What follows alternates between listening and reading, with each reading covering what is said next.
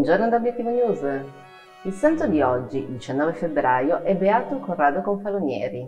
Oggi non tutti sanno che è anche l'Ash Day, ovvero la giornata mondiale delle ciglia, per promuovere l'importanza di una corretta cura delle ciglia.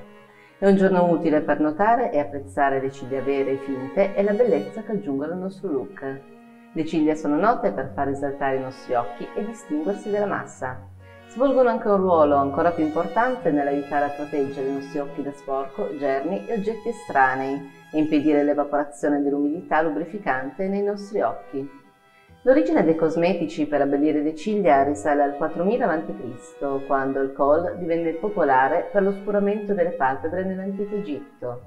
Si dice che il mascara moderno non tossico abbia avuto origine in Francia nel 1913, prima che iniziasse a prendere piede negli Stati Uniti anni dopo, con il debutto del mascara Maybelline, la cui formula era composta da un mix di vaselina e carbone ed è stata sviluppata dal suo fondatore, Thomas William.